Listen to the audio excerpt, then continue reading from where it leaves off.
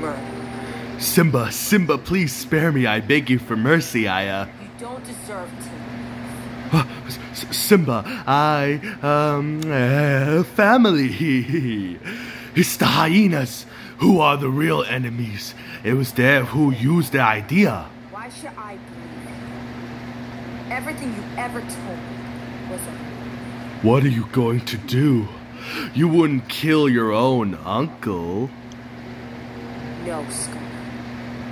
I'm not like you. Oh, Simba, thank you. You are truly noble. I make it up to you, I promise. And how can I uh, prove myself to you? Tell me a- anything. Run. Run away, Scar. And never return. Yes, of course. As you wish, Your Majesty.